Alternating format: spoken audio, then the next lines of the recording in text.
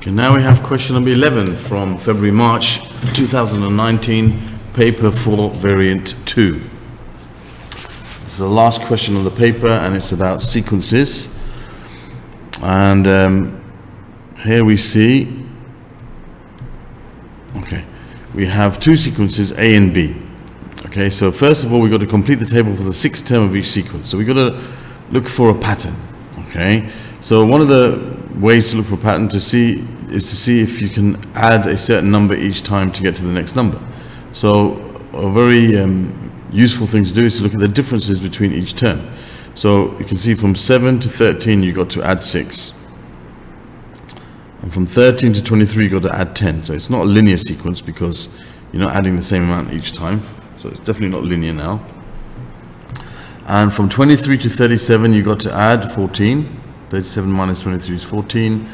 And from 37 to 55, that's going to be uh, 47 plus 8. That's 18. That's going to be, yeah, so it's 10 plus 8, 18. Okay. If you want to just confirm in case you do make a mistake mentally, you could confirm by just doing like 55 minus 37, that's 18. 37 minus 23, that's 14. And 23 minus 10 is minus 13 is 10, that's correct. And 13 minus, okay, good. So we can see that there's a pattern here, okay? Um, that it's going up by 4, and then it's going up by 6, sorry, and then it's going up by 10, and then it's going up by 14, and then it's going up by 18. So there's a pattern to how it's increasing. Okay, the amount it increases by is increasing itself by 4 each time. If I go from 6 to 10, I've got to add 4. From 10 to 14, I've got to add 4. From 14 to 18, I've got to add 4. So that means the amount I have to add has to increase by 4. So as I was adding 18, now I'm going to add 22. So my answer is going to be 77 because you've got to add 4 more than you added before. So before we added 18, now we're going to add 4 more than 18, which is 22. Okay? So that's actually a quadratic sequence. We're to, when we find the nth term, we're to look more into detail about that in part 2. Um, sequence B, if we try to do the same thing, we'll see it doesn't really help us. We've got 1 plus 2 is 3, 3 plus 6 is 9, and 9 plus um, 18 is 27 and then 27 it comes it's there's not really a pattern here. 81 minus 27 okay gives us something like 54 okay I know I know actually what the sequence is but I'm just trying to make you um, go through a certain process in case you see a question you're not sure. So we can see that there's not really any pattern found by by looking at the differences. Okay there's like you're gonna have a 4 here then you're gonna have um, 12 here, then you're going to have something way bigger than so there's not any pattern to be found by looking at the differences. Okay, so we're going to look at some other types of ways of looking at some connection. And the other obvious way is to see, do I, do I have to multiply by a certain number each time to get to the next number? And there you'll realize that, oh yes, I, I do. 1 times 3 is 3, 3 times 3 is 9, 9 times 3 is 27, 27 times 3 is 81, and 81 times 3, 3 8 is 24, so it's 243. 81 times 3, just to make sure. 81 times 3, 243, that's right. Okay, so there we have filled in this table. Okay, so the first one is a, this is a quadratic sequence, and the second one is actually, it's called an exponential sequence. Okay, exponential sequence, sometimes they're called a geometric sequence. When you have to multiply by the same number each time to get to the next number. Okay, it's an exponential sequence. And now we're going to look at the nth term. So for A, we see that the second differences are 4. So we, I know uh, for sure it's quadratic because the second differences gives us a constant. Okay, it's definitely quadratic. It's going to have something to do with, there's going to be an n squared somewhere in it. Right? Now, if you look at the second differences, okay, it's 4. Okay, the second difference is a 4. Okay, so if the whatever the second difference is, that number divided by 2 will tell you the coefficient of x squared. Okay, so I know it's got something to do with 2n squared. It's definitely got something to do with 2n squared. It's going to have some connection to 2n squared. Okay, so what I'm going to do is this. I'm going to do the following. I'm going to say, okay, I'm going to write down n.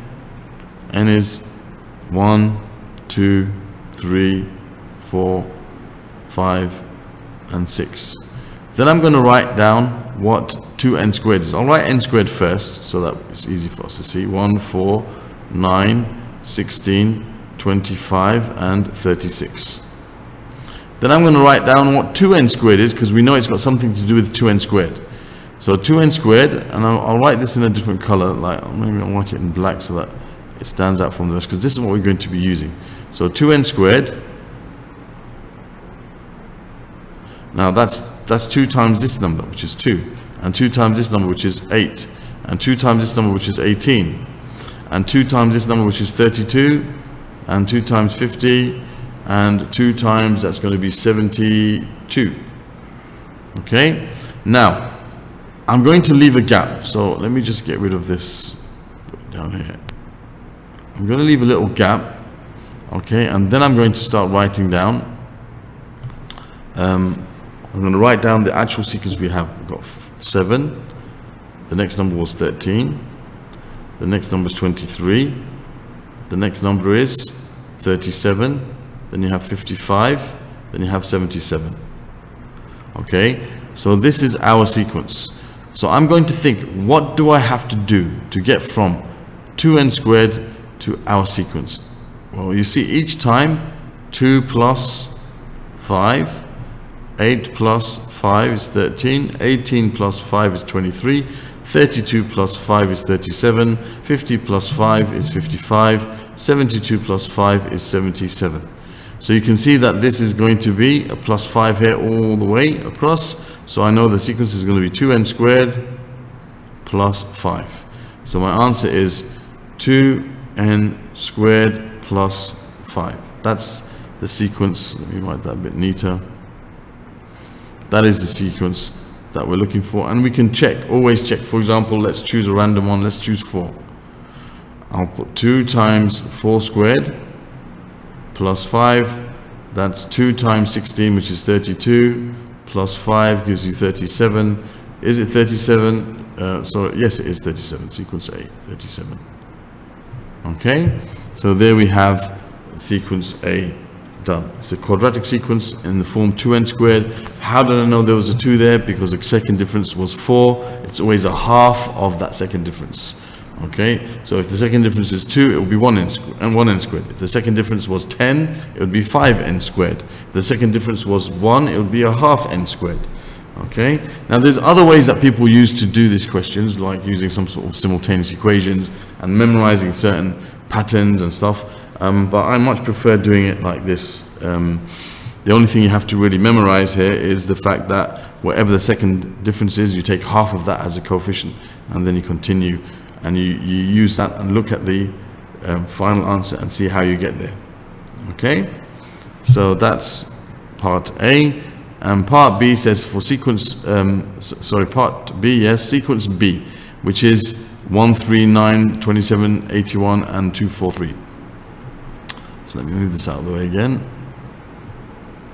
Okay, so sequence B, as we can see here, is 1 and 3 and 9 and 27 and 81 and 243. Okay, now we, we, we said that we have to multiply by 3 each time. Now, what you have to realize is when you multiply by the same number each time, it's called a, an exponential or a geometric sequence. Okay, and it's always going to be in the form of the number that you're multiplying, which is called the common ratio, to the power of something. Okay, again, there's a formula that you can learn. Okay, and I'll, I'll explain the formula to you after I've explained how to do it in a bit more of a mental way. Okay, most people would probably uh, like the formula, but I don't like to just teach people by um, memorizing formulae. I like them to understand what's going on. So you have to basically realize that whenever you multiply by the same number to get to the next term, it's going to be something to do with that number, which is 3 here, because you're multiplying by 3 each time. It's going to be something to do with that number to the power of something. Okay, 3 to the power of, I won't put n here because we're not sure exactly how that is related right now. It's 3 to the power of something. Okay, so what I'm going to do is, I'm going to um, write down I'll move this down a bit, okay. I'm going to write down, this is the first term, this is the second term, this is the third term, this is the fourth term, this is the fifth term, this is the sixth term, okay. I'm going to write down each of these terms in terms of 3 to the power of something. So I know that, for example, 1 is 3 to the power of 0, and 3 is 3 to the power of 1, and 9 is 3 to the power of 2, and 27 is 3 to the power of 3. 3 to the power of 3. Let me tidy that up a bit. Okay, and 81 is 3 to the power of 4. And 243 is 3 to the power of 5. Okay, and then I'm going to compare that with the position of the term. First term, 3 to the power of 0. Second term, 3 to the power of 1. Third term, 3 to the power of 2. Fourth term, 3 to the power of 3.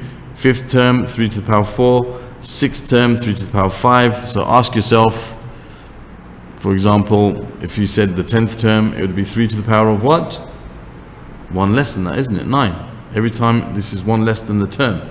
So if it's the nth term, it would be 3 to the power of 1 less than n, which is n minus 1.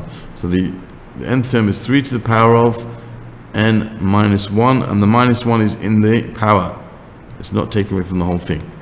Okay so that's how you can deal with these type of sequences.